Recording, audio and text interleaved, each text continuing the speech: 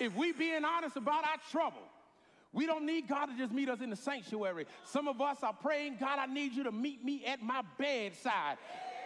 Because late at night, when the phone isn't ringing and the text messages have stopped, the devil does a good job playing with our mind. And some of us, he has, he has us running so many fear scenarios. What if this happens? And what if that happens? And what if this doesn't go well? And what if that doesn't go right? And we losing sleep and we losing peace and where we need God to meet us. Psalm 27, verse 5 and verse 6. Psalm 27, verse 5 and verse 6. Have you found it? Is there a word there? To God be the glory. He always has a word for our life. This is what it says. For in the time of trouble, he shall hide me in his pavilion. Oh, I can't wait to get there. In the secret of his tabernacle, he shall hide me. He shall set me up on upon a rock. And now shall my head be lifted up above my enemies round about me. Therefore, I will offer in his tabernacle sacrifices of joy. I will sing, yea, I will sing praises unto the Lord. I, I feel like I need to read that one more time. That, that, that was good to my soul. That, for in the time of trouble he shall hide me in his pavilion. In the secret of his tabernacle shall he hide me. He shall set me up upon a rock. And now shall my head be lifted up above my enemies round about me. Therefore will I offer in his tabernacle sacrifices of joy. I will sing, yea, I will sing praises unto the Lord. Uh, today I want to speak using this subject and thought in our minds. I have trouble, but trouble don't have me.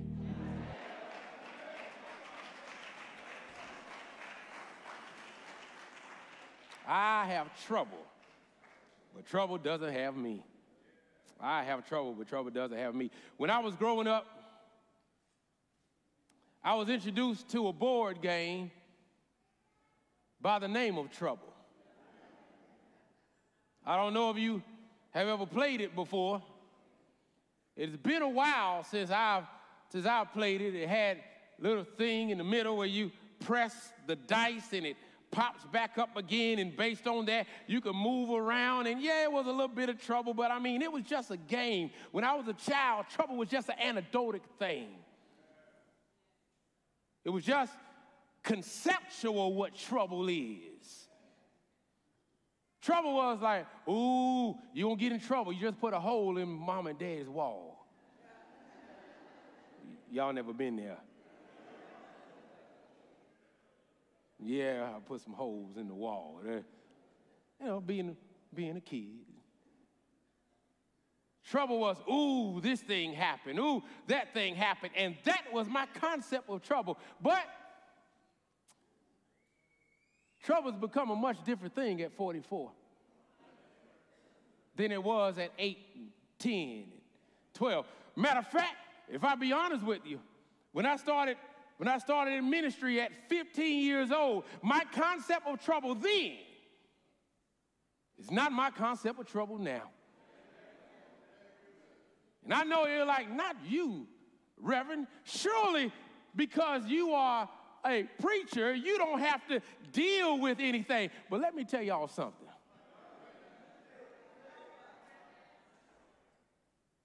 I have seen and felt trouble in ways that I could not have imagined. I've learned trouble in a very real, very personal, very foundational, shaking kind of way. Where you, you leave, you're left thinking to yourself, how in the world did this happen? Lord, are you, are you serious? Asking that question, God, is there anything I can do to change it? Already know, and the answer is no. I mean, that trouble when you don't have time to call anybody trouble. I'm talking about that trouble when even if you could call somebody, it's nothing they can do kind of trouble. Y'all not walk with me today.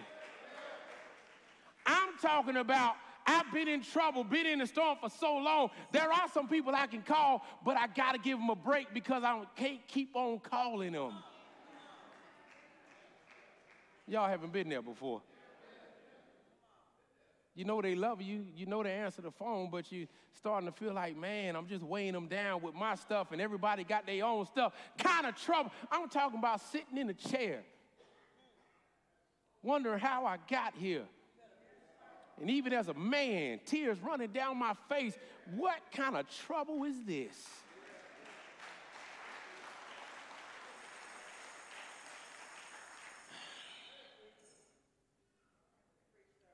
And I've had to come to the sobering conclusion that even my trust in God, even my salvation, did not exempt me from being in that kind of trouble.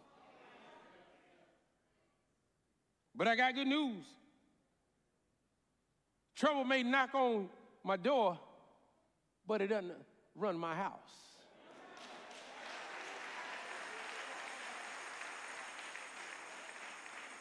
Trouble may try to define your story, but it does not write your ending. I'm giving you good news already. Trouble may try to weigh you down, but you got a God that will lift you up. Why? Because when you know how to follow God, you may have trouble, but trouble don't have you. Can I build my case here?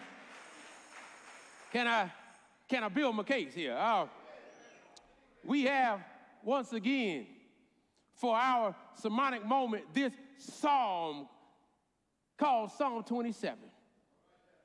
And in this Psalm 27, yo, I, I got a, I, I got a new phone. I'm really enjoying this, uh, really enjoying this new phone. And no, it is not an iPhone, all right? And so just, just, just to be clear, I, God gave me wisdom and discernment. Okay, all right. Look at, Look, look, at, look at what David says on his way to verse 5 and 6 in this 27th Psalm. David, of the 150 Psalms, wrote, see, y'all forgot already, 73 of the 150 Psalms. David wrote 73 of these 150 Psalms. And this is what David says The Lord is my light and my salvation. Whom shall I fear? The Lord is the strength of my life. Of whom shall I be afraid? When the wicked, even my enemies and my foes, came upon me to eat up the flesh, they stumble and fail. Though a host should encamp against me, my heart shall not fear. Though war should rise against me, in this will I be confident. One thing have I desired. One thing that I will seek after, that I will dwell in the house of the Lord all the days of my life, to behold the beauty of the Lord and inquire in his temple. And now he says, For in the time of trouble,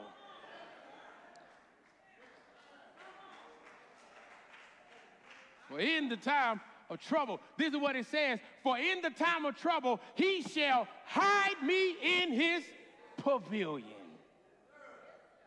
So when I have trouble, and the reality of life is I am going to have trouble. And this is what David says In my time of trouble, I found a God that hid me and hid me in something he describes as a pavilions. Uh, first up, we gotta we gotta give we gotta give a pause and analysis to these pavilions. Because my question was, what's a pavilion?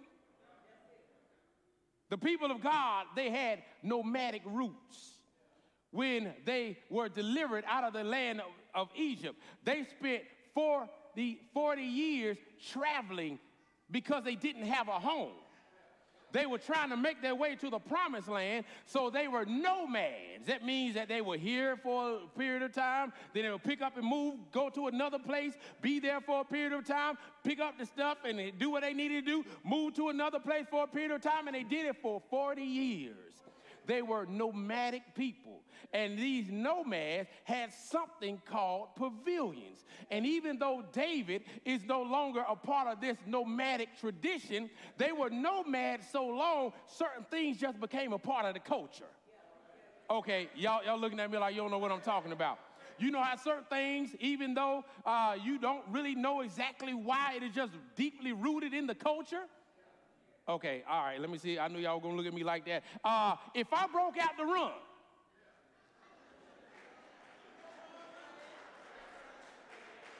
y'all not gonna sit right there and be like, well, I wonder what is happening. Do you want to inquire why the pastor just read? It is cultural. If I break out running, this place gonna clear.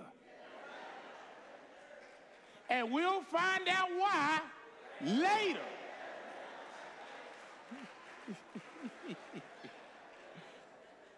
it's cultural, y'all.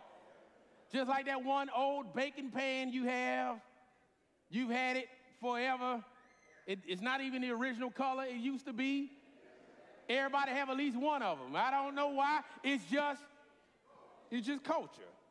Just like when you when you lost and you're driving. And when you get lost, you know what you do. You turn the music down. You're like, I gotta,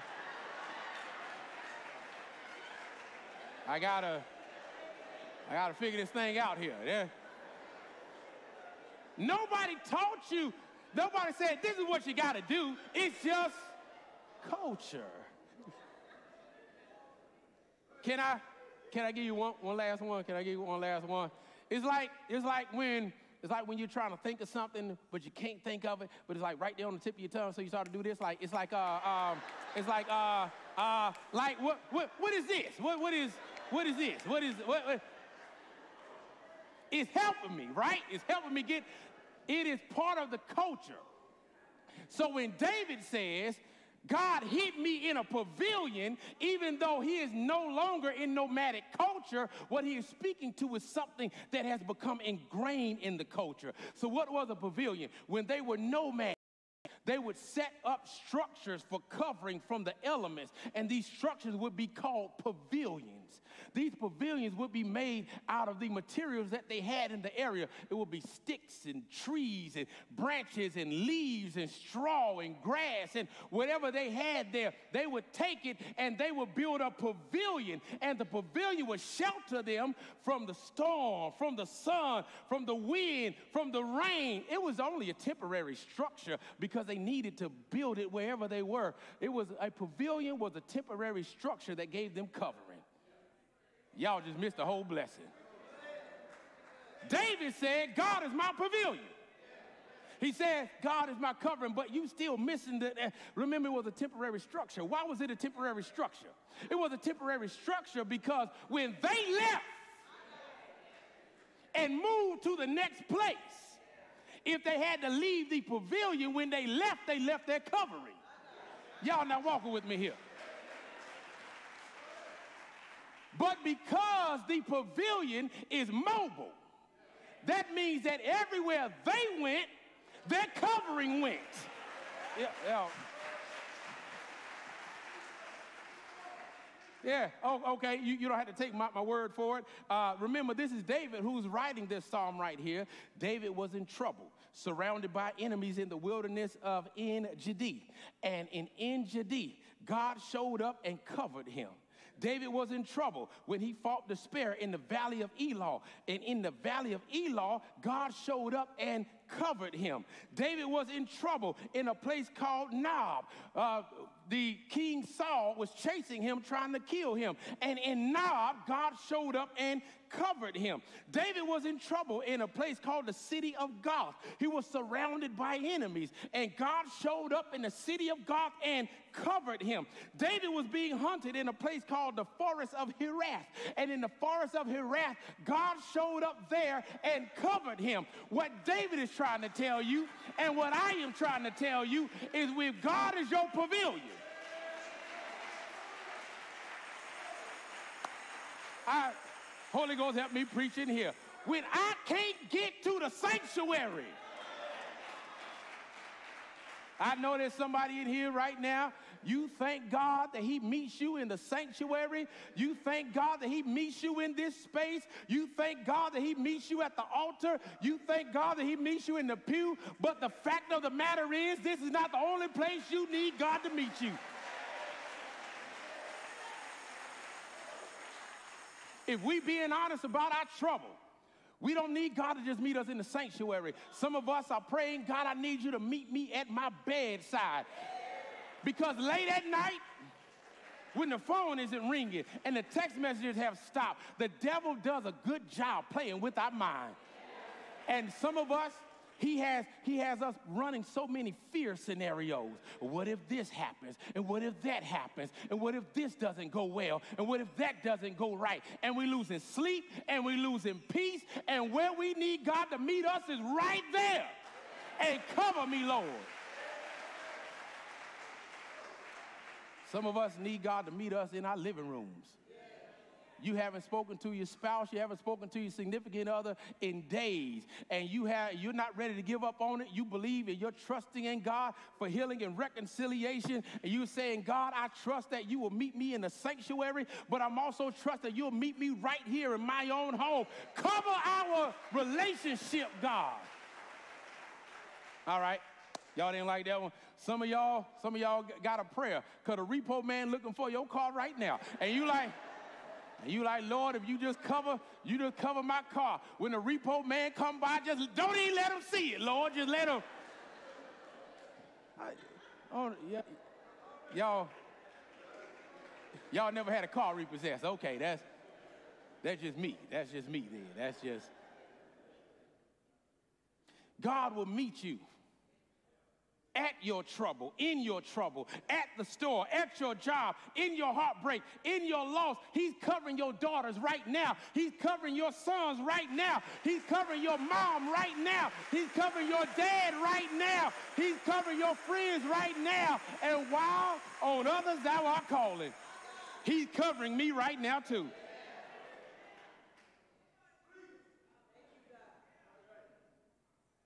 So somebody should thank God for his covering that meets you at your point of need. That even when you can't make it to him, God has the power to bring a pavilion to you. Did I did I did I mention the fact that when the people of God would leave one place to go to the next place, they did not pack up the pavilion. They left the pavilion where it was. And when they got to the new place, they built a pavilion there. They didn't drag old stuff to a new place.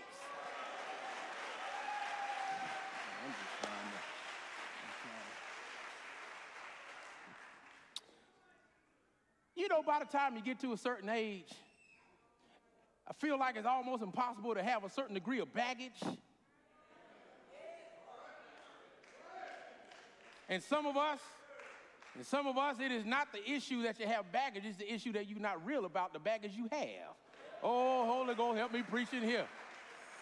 Because if I'm not real about the baggage I have, how can I really deal with the baggage that I have? And because I am not properly dealing with it, I keep dragging old stuff to a new situation. But they would leave the old because they knew every time they got to a new place, God was going to give them what they needed in the new place. That's why, of the many descriptive terms they gave God, they included this one. It is called Jehovah Jireh. For those of you that don't know what Jehovah Jireh is, it means God will provide.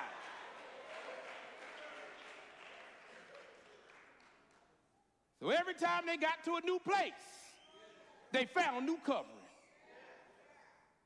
And every time they turned around, God just kept on making a way. And I came to give you good news in the midst of your trouble that when you get where God has you, or even where you are right now, God has a blessing for you already. Because every time I turn around, I was just looking to see what, what my witness was. Every time I turn around.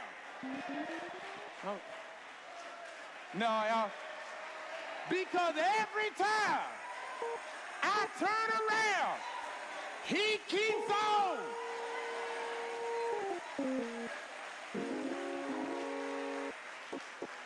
Okay, all right, all right. I got, got to keep this gospel train moving. So there, is, there are pavilions and then there are progressions. There are pavilions. David said, He hides me in his pavilion. And then there is progression. The next thing that we see happen in the text is saying that you shall set me up upon a rock. Up upon. You shall set me up upon. Do you hear the language? I am climbing. I am getting higher. I am up upon a rock. I want y'all to take note of this. David is brilliant in his praise and prayer. He doesn't just say, I'm on a rock, y'all, and my enemy's down there. Because if he does, we began to think, oh, well, this is about him being lifted up above his enemies. Yeah, forget the haters. Yeah, forget the doubters. Do we make it about them? But before he tells you he's on a rock, he tells you how he got there. He talks about the trouble first. Take note. He just doesn't say I'm on a rock. See, and let me say, God don't lift you up so you can look down on other people.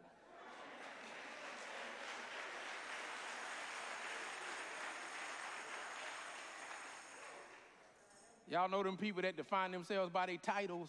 Like, I am, I am this title. I am that title. I'm like, no, nobody cares, bruh. No, no, nobody cares. Uh, I go into, sometimes I go into a room and they, I'm Reverend this, I'm Doctor that, I'm, that. What are you? I'm like, I'm Chris. That's, that's, that, that's who I am. That's, that's, that's my name. They say you just set me up upon a, upon a rock. Now you take note of the order. He talks about the trouble he went through before he talks about the rock he stands on.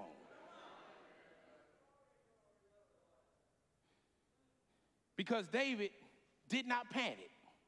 Because David trusted that God would be his pavilion and his covering, it leads him to being on a rock. David proclaims this then my situation, trouble. Somebody say trouble. My situation provided the vehicle for my elevation. Walk with me here. Eh? I'm not just telling you I'm on a rock, I'm telling you how I got here. And the way I got here is I was in trouble, God hit me, and the next thing you saw, I was up on a rock. Because if you don't understand my journey, you'll think this is about me being lifted higher than my enemies, but it's not. It's about how I trusted in God. This song, 5 and 6, verse 5 and 6, is about praise and progress. But the process of my progress is not going to always be pretty. the process of my progress is not going to always be pretty. And if you care about being on the rock, you got to know how I got there. If you care about being on firm foundation, you got to understand how I got there. The real blessing is not in knowing I'm on the rock. The real blessing is how'd you get up there? Yeah, okay, y'all. I need my sons to know. I need my sons to know that it was a journey and continues to be a journey. I need my daughters to know that daddy ain't perfect. This has been a journey and I and I still mess up and I still have my flaws and I still got things I need God to clean up in, in my life. But through the trouble, I keep trusting.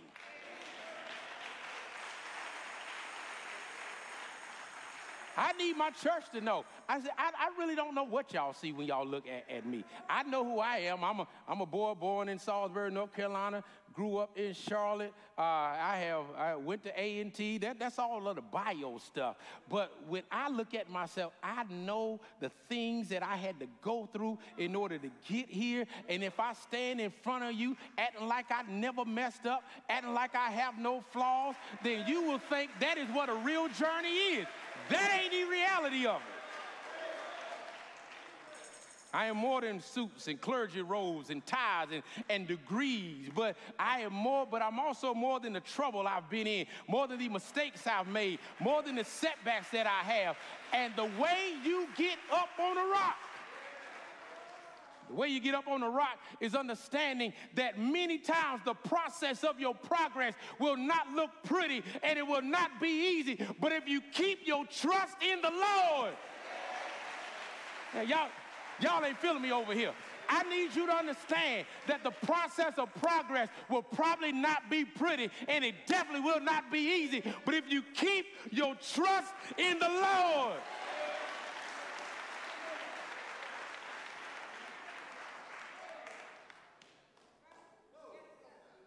God help me to trust that even if, that even my trouble can bring about triumph. You're waiting on God to make your process pretty. And I'm praying that whatever the circumstance is, I learn how to trust in God's process.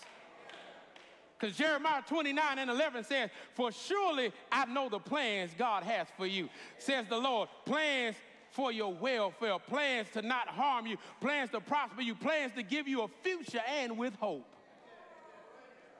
So give me the so it might not be pretty, but tell me the process how you got up on the rock. Oh, okay, you want to be a homeowner? Give me the process.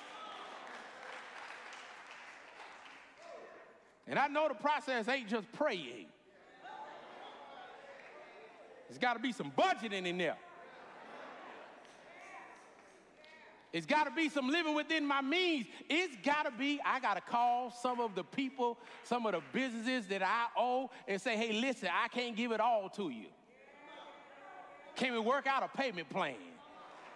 What, you need my real number?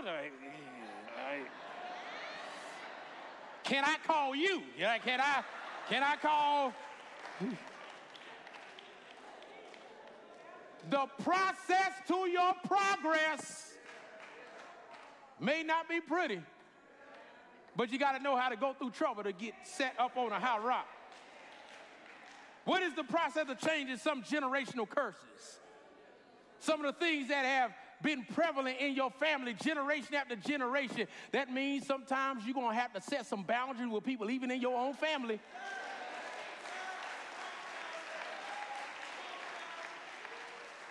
And I'm talking about being respectful. Do not disrespect your elders. Even if they even if they disrespecting you, do not disrespect your elders. You can't get something good acting acting a fool. But you set some healthy boundaries. You set some healthy standards for yourself, for your kids, for your sons, for your daughters, because the process of your progress may not be pretty, but if you trust God through it,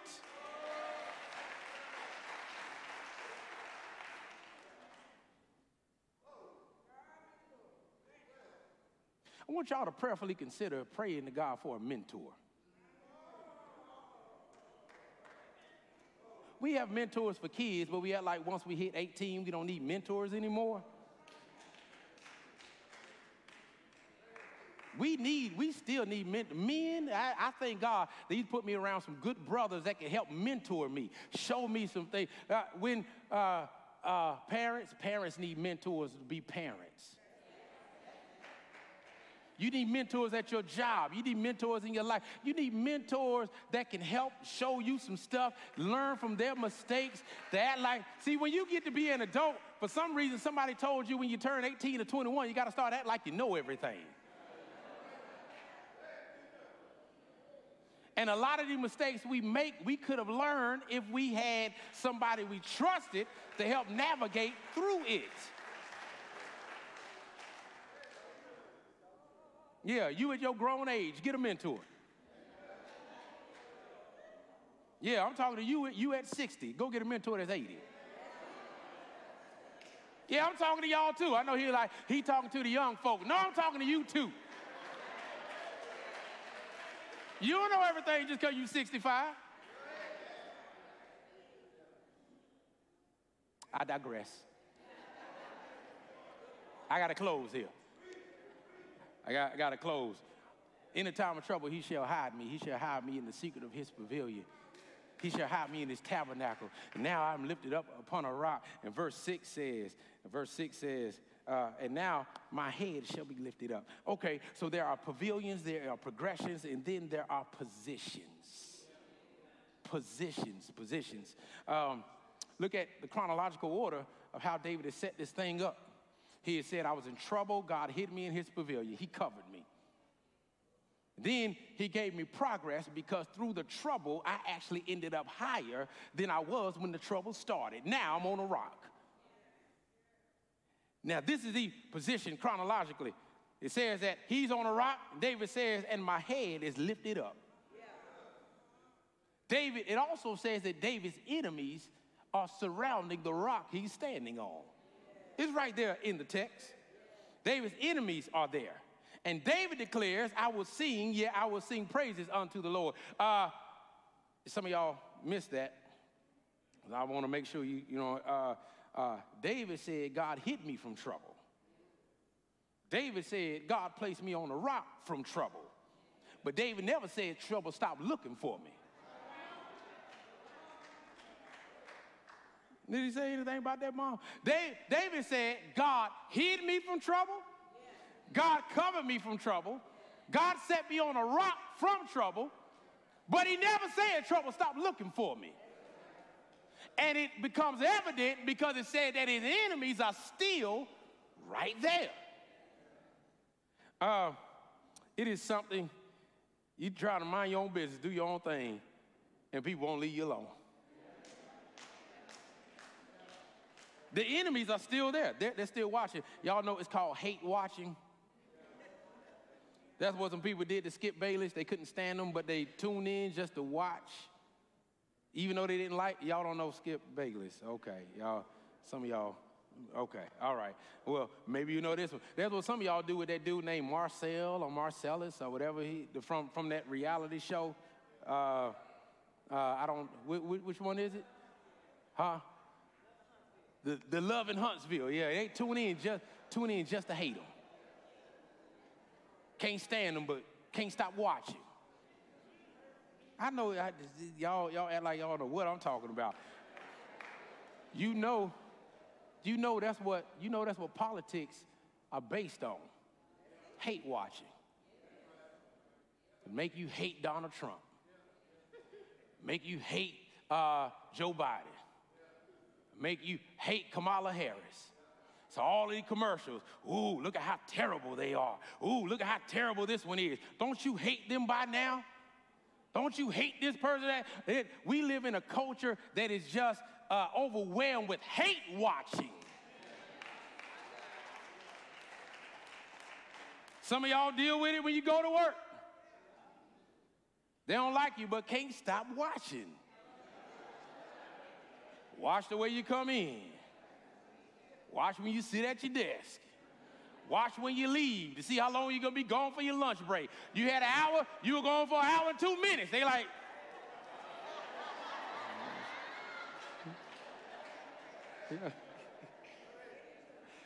They check your socials. They on your socials, checking to see what you're doing, who you're with, where you're going. You don't like me. Why you watching me?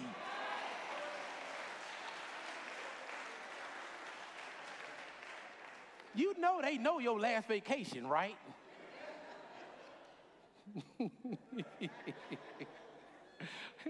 hey, why, why? How they get to be? How they get to go over there? Uh, because the Lord has been good. He has blessed me in abundance. And if, but I want you to take note. It says, David says, I went through trouble. Going through the trouble, I trusted in God because He covered me. He then set me up on a rock. My enemies were there watching me. What does David say he watching? You already closed it. You don't even know. He says, while they're watching me, my head is lifted up. Okay, y'all like, I still don't know what it means for his head to be lifted up. David gave further context and clarity to this when he said, I will lift. I thought I had some Bible readers in here mine eyes to the hills from which cometh my help. In case you didn't know, all of my help cometh from the Lord.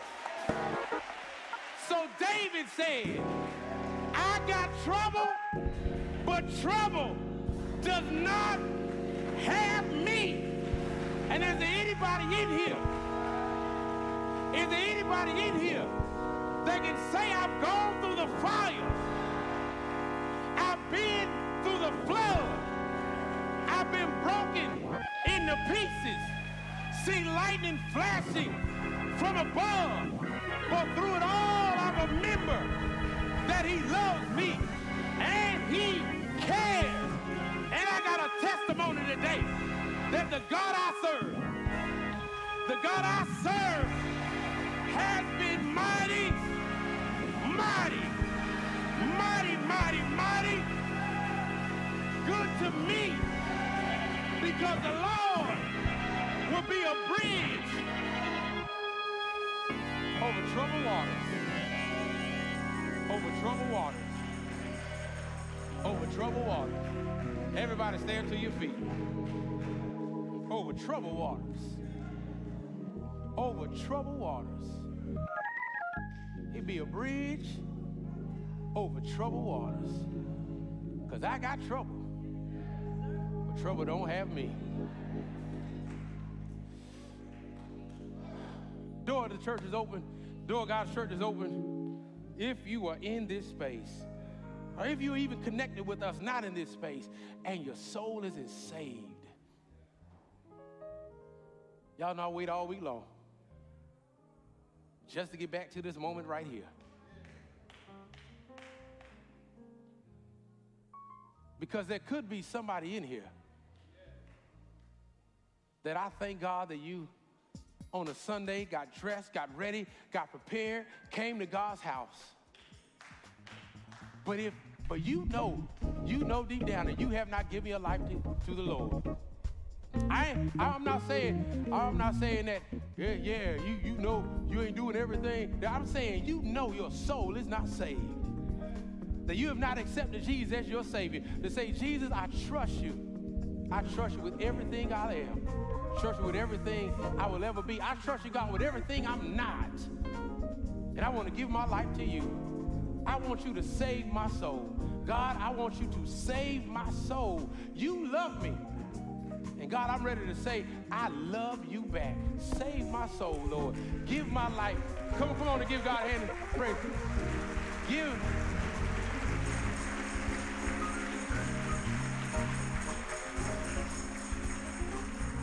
God, God, order my steps. God, make my path in front of me. Lord, save my soul. And you are saying that, yeah, this is the day I become perfect.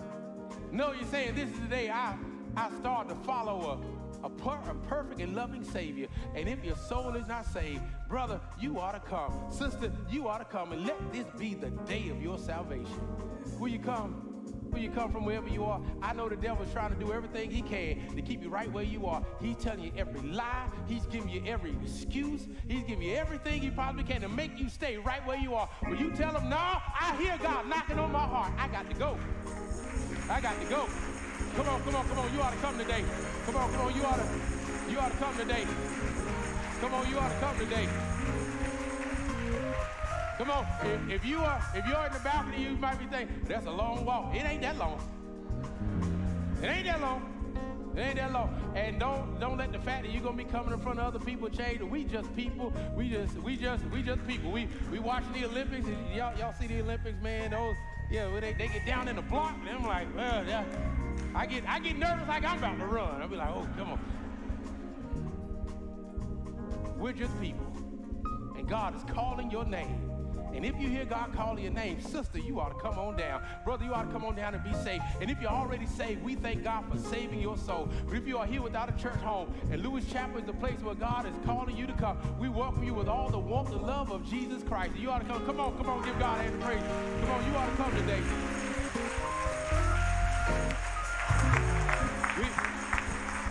Come on, come on, give God a hand of praise. We're going to sing while you make your heart up. We're going to sing while you make your heart up.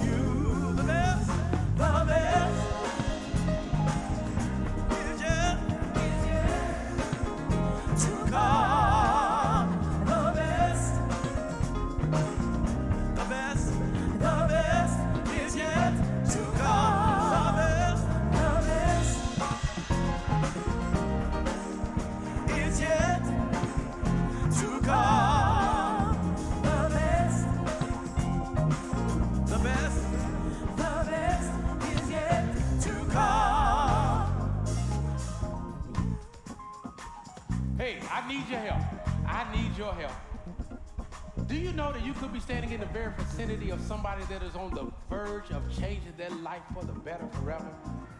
You could. You, they could be right on your left, your right, in front of you, or behind you. And I know it might be a little uncomfortable, but I'm asking you to help me to help them and change their life for the better. Could you just find somebody in your area? Just find somebody and just ask them, do we need to go down? Come on, come, come on, come on to help me. Come on to help me to help them. Do we, come on, help, help me to help them. Do, do, do we need to go? Do we need to go? Do we need to go? Do we need to go?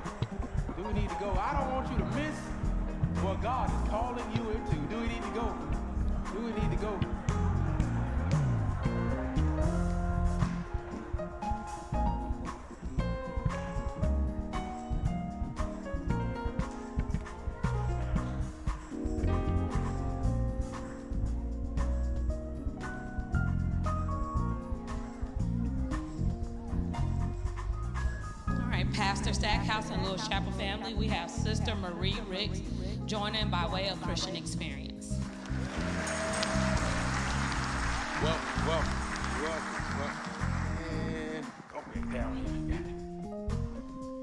Pastor Stackhouse Lewis Chapel, we have Josiah Cox coming for baptism. We also have Jadine Cox coming for baptism. And Janae Pope coming for Christian Experience.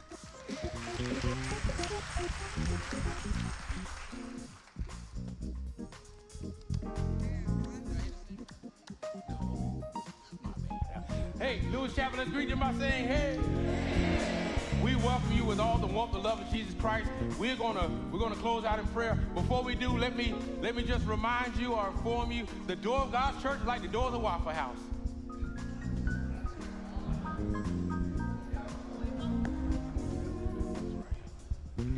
Didn't miss anybody, did I? I, I, I got everybody. I thought so. Yeah, yeah, I got I got everybody. Thank you. Thank you for making sure though. Yeah, do it. So all you got to do is go to lewischapel.org. When we get when you get lewischapel.org, uh, there's a place at the top of the screen that says join. When you get there, just click that. Give us your name, email, and phone number, and I cannot wait to reach out to you. Um, let us pray. Let us pray.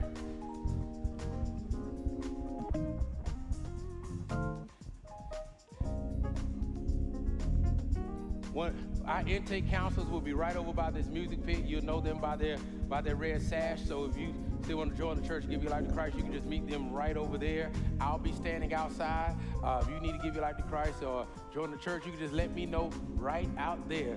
Uh, people ask me, do people do that in the parking lot? It happens all the time. So I just want you to know that your opportunity, your chance has not passed you by. But don't wait too long, because tomorrow is not promised. Let us pray. Our gracious and heavenly Father, God, I thank you for showing up in such a significant way, Lord. I pray that the word that has been preached has reached exactly who you needed to reach, God. And that it has done exactly what you required of me to do. God, there is a multitude of things that we can pray for today. God, for, for the brother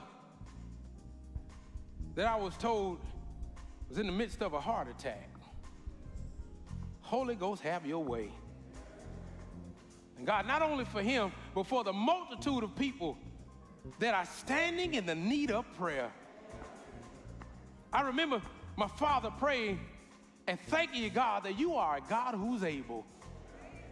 Able, God, to do everything that we stand in need of. So, God, I thank you for being a God who's able. And now, unto him who's able to keep us from falling and to present us faultless before his Father with exceedingly great joy. To the one wise ruler, he who is maker of both heaven and earth, be both power, glory, honor, and dominion. To God, our Creator, Jesus, our Savior, and to the Holy Spirit, our Comforter, may this Trinity rest, rule, and abide henceforth, now, forever, and ever, and evermore. And the church said, Amen. God bless you. God bless you.